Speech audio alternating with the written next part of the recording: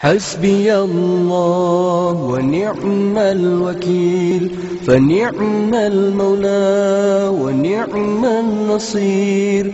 حسبي الله ونعم الوكيل فنعم المولى ونعم النصير. حسبي الله ونعم الوكيل. السلام عليكم ورحمة الله وبركاته.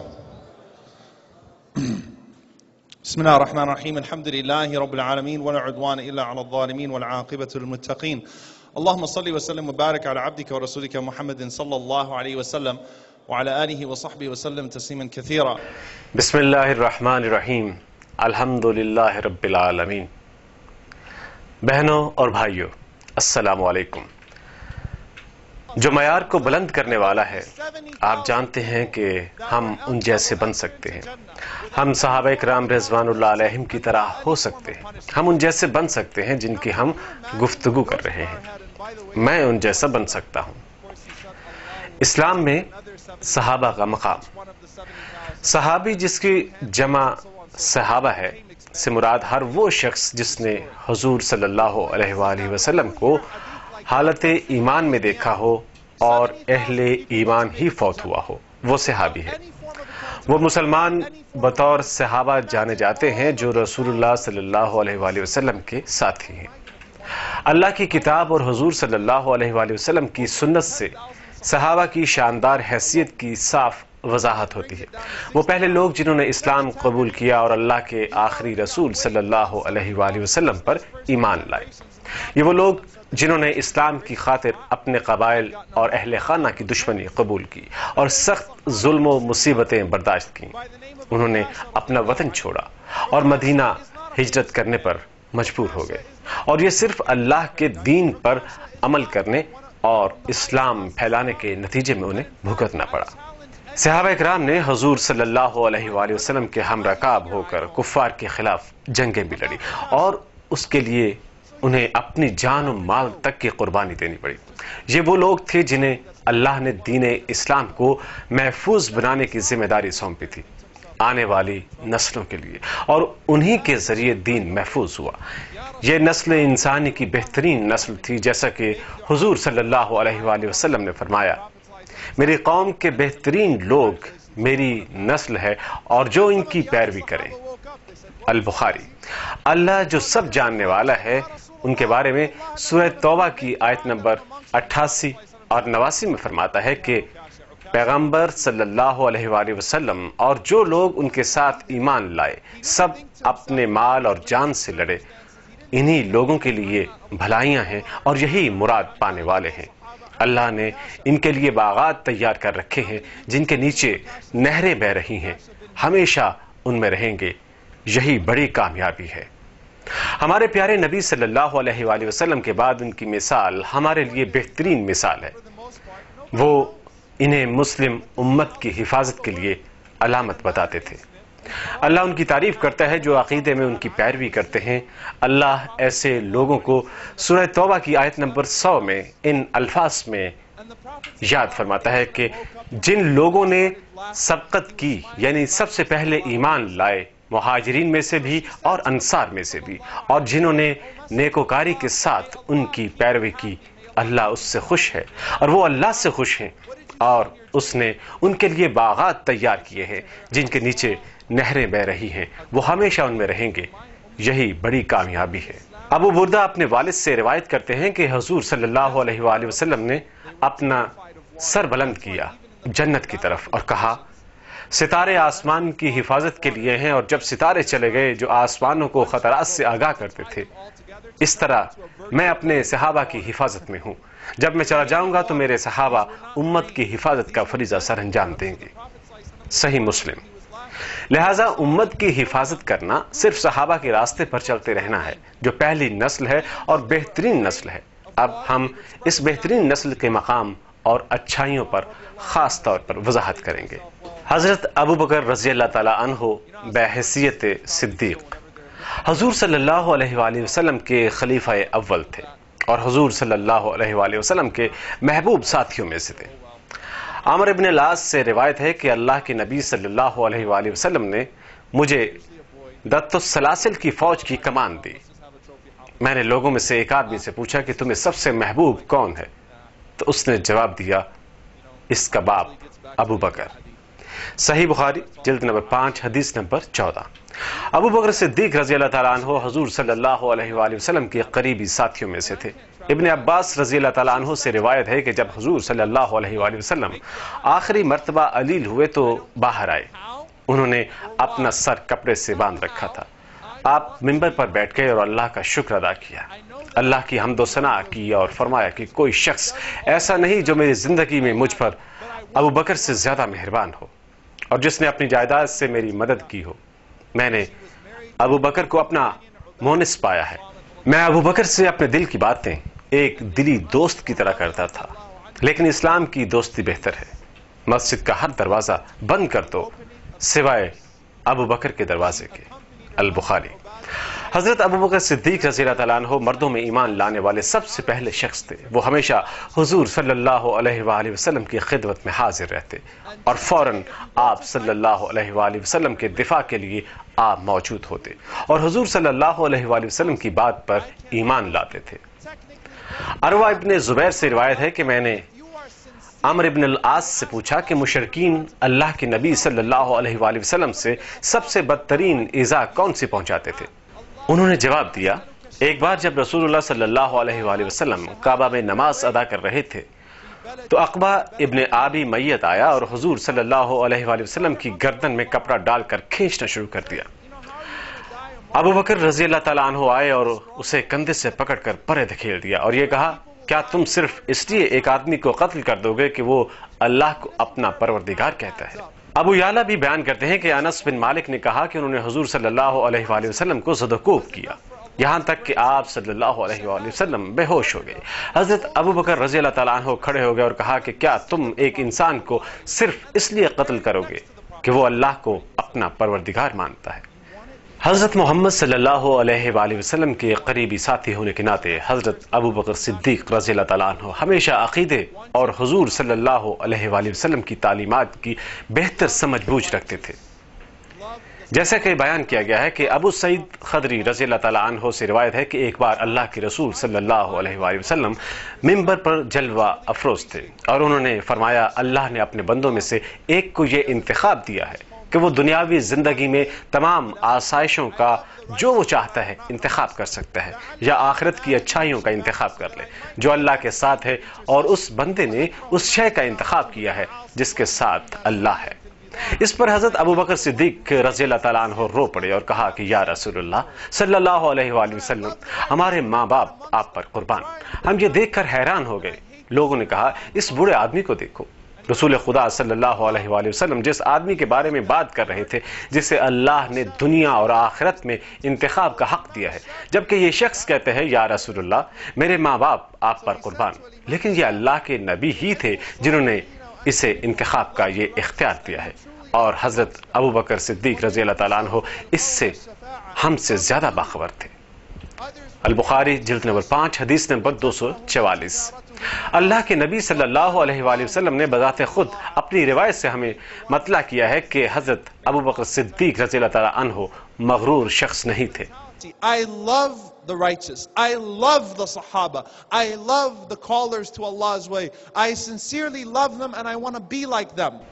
میں نے ایک آدمی سے محبت کرتا ہوں میں صحابہ سے محبت کرتا ہوں میں ان دعوت دینے والوں کو پسند کرتا ہوں جو لوگوں کو اللہ کی دعوت دیتے ہیں میں پورے خلوص سے ان سے محبت کرتا ہوں اور ان جیسا بننا چاہتا ہوں۔ آپ بھی خود میں ان کی محبت پیدا کیجیے جو آپ کو جنت میں لے جانے کے لیے کافی ہے۔ ابن عمر رضی اللہ تعالیٰ عنہ سے روایت ہے کہ حضور صلی اللہ علیہ وآلہ وسلم نے فرمایا، جو غرور سے اپنا لباس فرش پر گھسیٹ کر چلتا ہے، اللہ قیامت کے دن اس کی طرف نہیں دیکھے گا۔ حضرت ابو بکر رضی اللہ تعالیٰ عنہ نے فرمایا کہ میرے لباس کا ایک کونا اکثر زمین پر گھسٹتا رہتا تھا۔ جب تک کہ میں اسے اٹھا نہ لوں۔ تو رسول اللہ صلی اللہ علیہ وآلہ وسلم نے ان سے کہا کہ تم ایسا غرور کی وجہ سے نہیں کرتے، البخاری۔ حضرت ابو بکر کو صدیق کا لقب اس لیے دیا گیا کہ جب حضور صلی اللہ علیہ وآلہ وسلم نے اعلان نبوت کیا تو ابو بکر نے بلا تعمل اس کی تائید کی۔ جب پیغمبر صلی اللہ علیہ وآلہ وسلم نے یروشلم کا سفر کیا، جب قریش نے حضور صلی اللہ علیہ وآلہ وسلم کے ایک رات میں یروشلم کے سفر پر ایمان لانے سے انکار کیا، تو جب حضرت ابو بکر صدیق رضی اللہ تعالیٰ عنہ نے اس واقعے کی خبر سنی، تو انہوں نے کہا کہ میں ان کی وحی پر ویسے ہی ایمان لاتا ہوں، جیسے میں ان کی دنیاوی معاملات پر۔ انس بن مالک سے روایت ہے کہ ایک دفعہ حضور صلی اللہ علیہ وآلہ وسلم حضرت ابو بکر رضی اللہ تعالیٰ عنہ کے ہمراہ احد کے پہاڑ پر تھے۔ حضرت عمر رضی اللہ تعالیٰ عنہ اور حضرت عثمان رضی اللہ تعالیٰ عنہ بھی ان کے ہمراہ تھے کہ پہاڑ نے کانپنا شروع کر دیا۔ رسول اللہ صلی اللہ علیہ وآلہ وسلم نے پہاڑ کو فرمایا کہ ٹھہر جاؤ، تم پر ایک نبی، ایک صدیق اور دو شہید موجود ہیں۔ صحیح بخاری۔ ابو بکر صدیق رضی اللہ تعالیٰ عنہ کا تعلق ان سے ہے جن کا ذکر قرآن نے کیا ہے، جب انہوں نے اللہ اور اس کے رسول کی پکار کا جواب دیا زخمی ہونے کے بعد۔ بخاری شریف میں ہے کہ حضرت عائشہ رضی اللہ تعالیٰ عنہ اللہ کے بیان کے بارے میں کہتی ہیں کہ اور جنہوں نے اللہ اور اس کے رسول کا جواب دیا، جب وہ زخمی ہو گئے تھے اور جنہوں نے نیک عمل کیے اور اللہ سے ڈرتے رہے، تو ان کے لیے عظیم اجر ہے۔ سورہ آل عمران۔ حضرت عائشہ رضی اللہ تعالیٰ عنہ فرماتی ہیں کہ الزبیر اور حضرت ابو بکر رضی اللہ تعالیٰ عنہ احد پر پیغمبر صلی اللہ علیہ وآلہ وسلم کے بعد زخمی ہو گئے اور مشرقین بھاگ کھڑے ہوئے، لیکن اس بات کا خدشہ تھا کہ پلٹ کر حملہ کریں گے۔ حضور صلی اللہ علیہ وآلہ وسلم نے فرمایا کہ کوئی ان کے پیچھے جائے گا تو سات لوگوں نے اس کی حامی بھر لی۔ اور زبیر اور ابو بکر ان میں سے دو تھے۔ اس کے علاوہ ہمیں بتاتے ہوئے کہ حضرت ابو بکر رضی اللہ تعالیٰ عنہ دنیا میں حضور صلی اللہ علیہ وآلہ وسلم کے نزدیک ترین ساتھیوں میں سے ایک تھے۔ پیغمبر صلی اللہ علیہ وآلہ وسلم نے خود کئی مرتبہ حضرت ابو بکر رضی اللہ تعالیٰ عنہ کی خوبیوں کی گواہی دی اور بتایا کہ حضرت ابو بکر صدیق رضی اللہ تعالیٰ عنہ اہل جنت میں سے ہیں۔ ایک بار حضور صلی اللہ علیہ وآلہ وسلم نے صبح کی نماز ادا کی۔ اور لوگوں سے ملے اور کہا کہ ایک شخص ایک گائے کو ہانک رہا تھا۔ وہ شخص گائے پر سوار ہو کر اسے پیٹ رہا تھا۔ تو اس گائے نے کہا کہ اے اللہ، تو نے مجھے اس کام کے لیے نہیں بنایا۔ میرا کام حل چلانا ہے۔ اس پر لوگوں نے حیرت سے کہا، ایک گائے بھی بات کرتی ہے۔ آپ صلی اللہ علیہ وآلہ وسلم نے فرمایا، میں اس بات پر یقین رکھتا ہوں۔ اور ابو بکر اور عمر نے بھی اس پر یقین کیا۔ حالانکہ یہ دونوں وہاں موجود نہ تھے۔ تب پیغمبر صلی اللہ علیہ وآلہ وسلم نے مزید کہا کہ جب ایک شخص اپنے مویشیوں کے ساتھ تھا کہ ایک بھیڑیے نے حملہ کر دیا اور اس کا ایک مویشی لے اڑا، اس شخص نے بھیڑیے کا پیچھا کیا، یہاں تک کہ مویشی کو بچا دیا، جس پر بھیڑیے نے کہا کہ تم نے اس کو مجھ سے بچا لیا، لیکن وحشی درندوں کے دن اس کو کون بچائے گا؟ جب اس کی حفاظت کے لیے کوئی چرواہا نہ ہوگا، سوائے میرے۔ لوگوں نے حیرت سے پوچھا اللہ کی عصمت ایک بھیڑیا بھی بات کرتا ہے۔ تو حضور صلی اللہ علیہ وآلہ وسلم نے فرمایا، لیکن مجھے اس واقعے کا یقین ہے اور ابو بکر عمر بھی اس واقعے پر یقین رکھتے تھے۔ حالانکہ دونوں وہاں موجود نہ تھے۔ بخاری۔ حضور صلی اللہ علیہ وآلہ وسلم نے فرمایا کہ جو لوگ نماز پڑھتے ہیں، انہیں جنت میں نماز کے دروازے سے پکارا جائے گا اور جو جہاد کرنے والے ہیں، انہیں جہاد کرنے والے دروازے سے بلایا جائے گا۔ روزہ داروں کو روزے کے دروازے سے بلایا جائے گا اور صدقہ کرنے والوں کو صدقے کے دروازے سے بلایا جائے گا۔ تو حضرت ابو بکر رضی اللہ تعالیٰ عنہ نے پوچھا، یا رسول اللہ صلی اللہ علیہ وآلہ وسلم، کیا کوئی ایسا بھی موجود ہے جسے سب دروازوں سے پکارا جائے؟ تو آپ صلی اللہ علیہ وآلہ وسلم نے فرمایا ہاں۔ اور مجھے امید ہے کہ تم انہی میں سے ایک ہوگے۔ صحیح بخاری۔ ایک بار حضور صلی اللہ علیہ وآلہ وسلم نے پوچھا، کس نے اس دن کی ابتدا روزے سے کی؟ تو حضرت ابو بکر رضی اللہ تعالیٰ عنہ نے جواب دیا، میں نے۔ پیغمبر خدا نے فرمایا، آج کس نے کسی جنازے میں شرکت فرمائی ہے؟ تو حضرت ابو بکر رضی اللہ عنہ نے جواب دیا، میں نے۔ تب پیغمبر خدا صلی اللہ علیہ وآلہ وسلم نے پوچھا، آج کس نے کسی بھوکے کو کھانا کھلایا؟ ابو بکر نے جواب دیا، میں نے۔ حضور صلی اللہ علیہ وآلہ وسلم نے پھر پوچھا، آج کس نے کسی بیمار کی عیادت کی ہے؟ تو ابو بکر صدیق رضی اللہ تعالیٰ عنہ نے جواب دیا، میں نے۔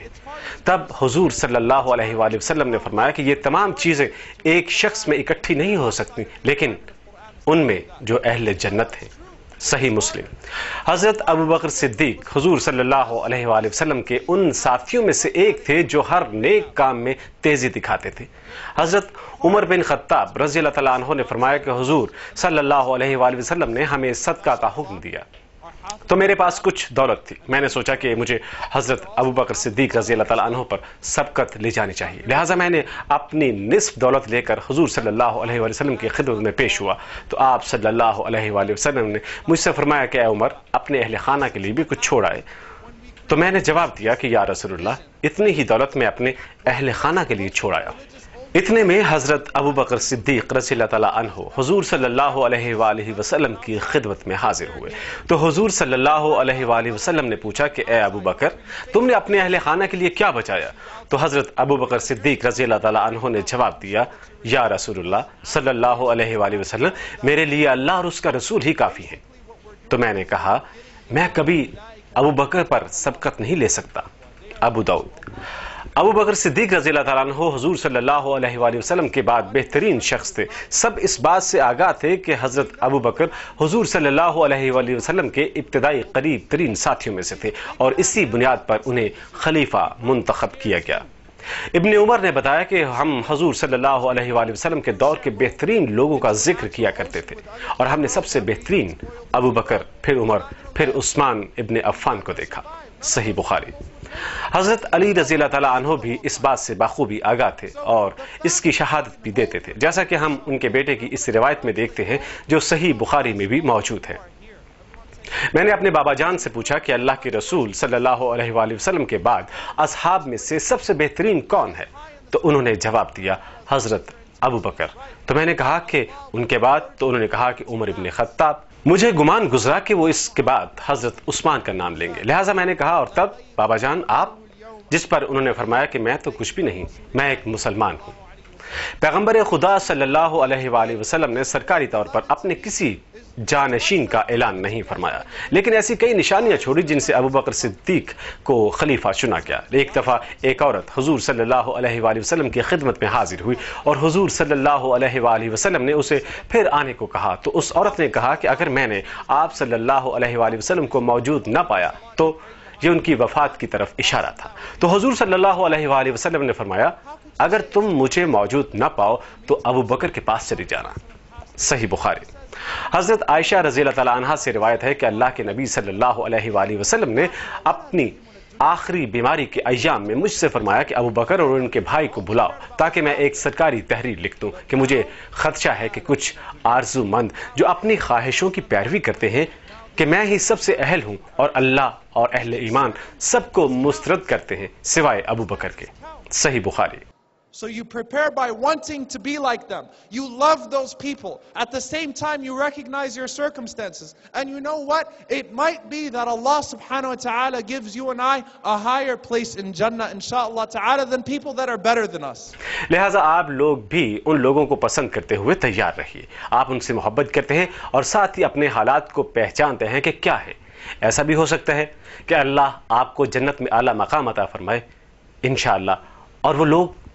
وہ تب ہم سے بہتر ہیں۔ ایک بار جب حضور صلی اللہ علیہ وآلہ وسلم شدید علیل ہوئے، تو آپ صلی اللہ علیہ وآلہ وسلم نے فرمایا، کسی دوسرے کو نماز کی امامت کے لیے لے آؤ۔ لوگوں نے دیکھا کہ ابو بکر اور عمر بھی وہاں نہیں پہنچے تھے، کہ وہ ان میں سے کسی کو امامت کے لیے کہیں۔ جب حضور صلی اللہ علیہ وآلہ وسلم نے عمر کی امامت کروانے کی بات سنی، تو فرمایا، ابو بکر کہاں ہے اللہ اور مسلمانوں نے یہ مسرت کر دیا ہے۔ اللہ اور مسلمانوں نے یہ مسرت کر دیا ہے۔ تب حضور صلی اللہ علیہ وآلہ وسلم نے ابو بکر کو بلوا بھیجا اور انہوں نے نماز پڑھوائی۔ حالانکہ لوگ عمر کی امامت پہ پہلے ہی نماز ادا کر چکے تھے۔ ابو داؤد۔ جندب رضی اللہ تعالیٰ عنہ کہتے ہیں کہ پیغمبر صلی اللہ علیہ وآلہ وسلم کی وفات سے پانچ روز قبل میں نے آپ صلی اللہ علیہ وآلہ وسلم سے سنا کہ میں نے اپنی بے گناہی اللہ کے حضور پیش کر دی ہے کہ اللہ کی خاطر مجھے تم میں سے ایک دلی دوست رکھنا چاہیے۔ جیسے اللہ نے مجھے ابراہیم علیہ السلام کی طرح دوست رکھا، اگر مجھے اپنی قوم میں سے کوئی دوست رکھنا ہوتا تو میں ابو بکر کو چنتا۔ صحیح بخاری۔ یہ حضرت ابو بکر صدیق رضی اللہ تعالیٰ عنہ کا اعلیٰ مقام ہے۔ ہمیں ان کا احترام کرنا چاہیے اور حضور صلی اللہ علیہ وآلہ وسلم کے دیگر صحابہ کرام کا بھی اور ان پر تنقید کرنے سے پرہیز کرنا چاہیے۔ رسول اللہ صلی اللہ علیہ وآلہ وسلم کا فرمان ہے کہ میرے صحابہ کو برا بھلا مت کہو، کیونکہ تم میں سے اگر کوئی پہاڑ کے برابر سونا خرچ کر دے تو ان کی نصف سطح تک بھی نہیں پہنچ سکتے۔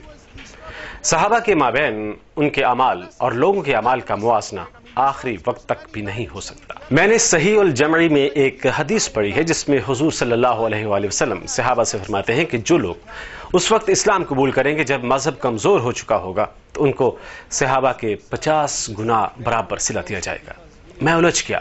میں نے سوچا کہ یہ بھی ایک حدیث ہے، جس میں رسول اللہ صلی اللہ علیہ وآلہ وسلم نے فرمایا، ایک بہترین نسل ان کے اپنے در کے لوگ ہیں۔ صحابہ اور ان کے بعد کی تابعین، اور ان کے بعد کے تبع تابعین۔ اور رسول اللہ صلی اللہ علیہ وآلہ وسلم نے یہ بھی فرمایا کہ اگر اس میں کچھ سونے جیسا ہے تو وہ یہ جو صحابہ نے دیا۔ اس مسئلے کو سمجھنے کے لیے ہمیں یہ بات یاد رکھنی چاہیے کہ صلہ کی دو اقسام ہیں۔ نمبر ایک، علم کا صلہ نمبر دو، حضور صلی اللہ علیہ وآلہ وسلم کی ہم رکابی کا صلہ کچھ بعد کے دور کے امتی کے اعمال کچھ صحابہ سے بہتر ہو سکتے ہیں، کیونکہ ان کی مدد کرنے والا کوئی موجود نہیں۔ اور کیونکہ انہیں اس کی ترغیب دینے والی کوئی چیز موجود نہیں، لیکن انہیں حضور صلی اللہ علیہ وآلہ وسلم کی ہم رکابی کا صلہ نہیں دیا جا سکتا، نہ ہی یہ اعزاز بخشا جا سکتا ہے۔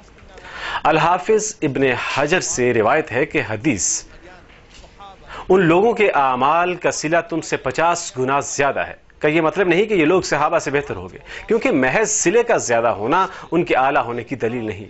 مزید برآں کچھ اعمال کی حد تک اجر کا فرق ہے، لیکن عظمت یہ چیز ہے کہ آپ دیکھتے ہیں کہ حضور صلی اللہ علیہ وآلہ وسلم کا کسی سے موازنہ نہیں کیا جا سکتا۔ یہ کیسے ہے؟ ہم مذکورہ بالا حدیث کی تشریح کر سکتے ہیں۔ شیخ الاسلام ابن تیمیہ کہتے ہیں، حضور صلی اللہ علیہ وآلہ وسلم کے بعد کی امتوں کے اعمال پچاس صحابہ کے برابر ہیں۔ اس کا یہ مطلب ہے کہ ان کے وہ اعمال جو انہوں نے اس وقت کیے تھے، کیونکہ صحابہ نے ان کی اس سلسلے میں رہنمائی اور مدد فرمائی۔ جبکہ جو لوگ بعد میں آئے انہیں ایسی کوئی مدد حاصل نہ تھی۔ یہی وجہ ہے کہ ان کے اعمال کا اجر بڑھا دیا گیا۔ جبکہ صحابہ کے اعمال کے اجر سے بڑھایا جانے کا ہر کس یہ مطلب نہیں کہ بعد میں آنے والے لوگ صحابہ سے بہتر ہو گئے۔ یا یہ کہ ان کی نیکیاں صحابہ کی نیکیوں سے بہتر ہو گئے۔ صحابہ اکرام نے جو کچھ ایمان، جہاد اور رسول اللہ صلی اللہ علیہ وآلہ وسلم کی مدد کرنے کے لیے لوگوں سے لڑائیاں کی اور جو یقین رکھتے تھے اور حضور صلی اللہ علیہ وآلہ وسلم نے جو فرمایا، اس کی انہوں نے اطاعت کی۔ یہ انہوں نے اس وقت کی جب حضور صلی اللہ علیہ وآلہ وسلم کا پیغام ابھی نہیں پھیلا تھا۔ جب حضور صلی اللہ علیہ وآلہ وسلم کی مددگاروں کی تعداد بڑھ گئی تو آپ صلی اللہ علیہ وآلہ وسلم کی نبوت کو وسیع پیمانے پر جانا جانے لگا۔ دراصل تب مومن تعداد میں کم تھے اور کفار اور منافقین کی تعداد زیادہ تھی اور اہل ایمان نے اپنی دولت اللہ کی راہ میں خرچ کی تاکہ اللہ کی خوشنودی حاصل کر سکے۔ ان کا یہ درجہ کوئی اور نہیں حاصل کر سکتا۔ جیسا کہ کتب حدیث میں ہے کہ حضور صلی اللہ علیہ وآلہ وسلم نے فرمایا، صحابہ پر لانت نہ کرنا، کیونکہ ان میں سے کسی ایک کے ہاتھ میں میری جان ہے۔ اگر تم میں سے کوئی ایک عہد کے پہاڑ کے برابر سونا خرچ کرتے، تو ان میں سے کسی ایک کا درجہ بھی حاصل نہیں کر سکتا۔ یہاں تک کہ اس کا نصف بھی نہیں۔ مجموعہ الفتاوہ جلد نمبر تیرہ۔ مزید برآں کوئی نیک عمل ایسا نہیں جو بعد میں آنے والے کر سکتے ہوں۔ ماں سوائے ان کے جو پہلے لوگوں نے پوری مہارت سے کی ان الفاظ کے سلسلے میں کہ ان کا صلہ تم سے پچاس گنا زیادہ ہے کیونکہ تمہارے مددگار ہیں۔ جو نیکی کرنے میں تمہاری مدد کرتے ہیں اور ان کا کوئی مددگار ہی نہیں جو نیکی کرنے میں ان کی مدد کرے۔ یہ ایسی حالت میں درست ہے کہ ایک عمل ان لوگوں میں سے صرف ایک شخص کرے جو بعد میں آنے والے ہیں۔ تو اس عمل کی مثال اس دور کے لوگوں کی جماعت کے برابر ہے جو پہلے تھی۔ اس لیے اس کو پچاس کے برابر ثواب ملے گا۔ لیکن آپ کو تصور نہیں کرنا چاہیے کہ بعد میں آنے والوں میں سے ان جیسا کوئی ایک عمل کر سکتا ہے۔ جیسے عمال حضرت عمر رضی اللہ تعالیٰ عنہ اور حضرت ابو بکر صدیق رضی اللہ تعالیٰ عنہ نے کیے۔ کیونکہ انہیں کوئی بھی نبی اکریم صلی اللہ علیہ وآلہ وسلم جیسا میسر نہیں آ سکتا۔ اور حضور صلی اللہ علیہ وآلہ وسلم کی اس حدیث کے متعلق کہ میری امت بارش کی طرح ہے۔ میں نہیں جانتا کہ ان میں پہلی بات درست ہے یا بعد والی، اگرچہ یہ حدیث اتنی مضبوط نہیں، لیکن اس کا مطلب ہے کہ ان میں سے جو بعد میں آئے، وہ ہوں گے جو پہلے آنے والوں سے مماثل ہیں۔ اور وہ اتنے قریب ہوں گے کہ جو ان کا موازنہ کرنے کی کوشش کرے گا، اسے یہ علم نہیں ہوگا کہ کون بہتر ہے۔ حالانکہ ان میں سے یقیناً ایک بہتر ہوگا۔ جو بعد میں آئے، ان کے لیے خوشخبری ہے اور ان میں وہ لوگ ہوں گے جو ان کے قریب ہوں گے، جو ان سے پہلے آئے۔ جیسا کہ ایک اور حدیث میں کہا گیا ہے، میری امت کے بہترین لوگ وہ ہوں گے جو ان کے قریب ہوں گے، جو ان سے پہلے آئے۔ جیسا کہ ایک اور حدیث میں کہا گیا ہے، میری امت کے بہترین لوگ پہلے آنے والے اور آخر میں آنے والے ہوں گے۔ لیکن ان کے درمیان کچھ بدکاری ہے۔ کیا میں اپنے بھائیوں کو دیکھ سکا؟ انہوں نے کہا، کیا ہم تمہارے بھائی ہیں؟ آپ صلی اللہ علیہ وآلہ وسلم نے فرمایا، تم میرے ساتھی ہو۔ اس سے صاف ظاہر ہوتا ہے کہ یہ مثال صحابہ کو دی گئی ہے، کیونکہ یہ تنہا اس کے ساتھی تھے۔ صرف بھائی بننے سے یہ درجہ کس قدر بلند ہے؟ جو بات وضاحت طلب ہے، وہ یہ کہ جو محاورہ اس سوال میں استعمال ہوا ہے، اس کے لیے کوئی بنیاد نہیں۔ بہترین نسل میری نسل ہے۔ حالانکہ یہ اکثر اہل سنت کی کتابوں میں استعمال ہوتا ہے۔ مزید برآں اس کے معنوں سے متعلق غلطی ہے۔ اگر یہ وہی الفاظ ہیں جو حضور صلی اللہ علیہ وآلہ وسلم نے استعمال کیے، تب انہوں نے اس کے بعد یہ بھی کہا ہوگا، جس کی کسی نے پیروی کی ہوگی۔ لیکن حدیث کے الفاظ وہی ہیں جن کی لوگ پیروی کرتے ہیں، اور اس حدیث کے الفاظ یہ ہیں۔ بہترین انسان میری نسل اور میرے امت کے بہترین لوگ میری نسل ہیں۔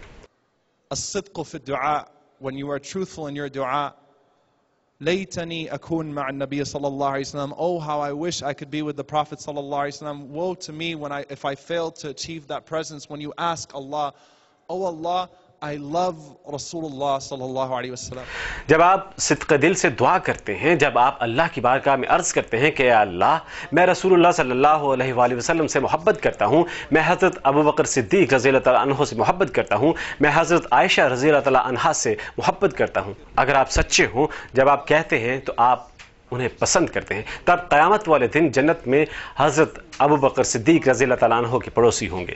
آپ اس سے محبت کرتے ہیں۔ اور عائشہ رضی اللہ تعالیٰ عنہ بھی آپ کے پڑوس میں ہوں گی اگر آپ حضرت عائشہ صدیقہ رضی اللہ تعالیٰ عنہ سے محبت کرتے ہیں، اور تو اور، جنت الفردوس میں آپ کو حضور صلی اللہ علیہ وآلہ وسلم کی ہمسائیگی میسر آئے گی۔ اور جن سے آپ محبت کرتے ہیں، وہ وہاں موجود ہوں گے۔ انشاءاللہ۔ جزاک اللہ خیر۔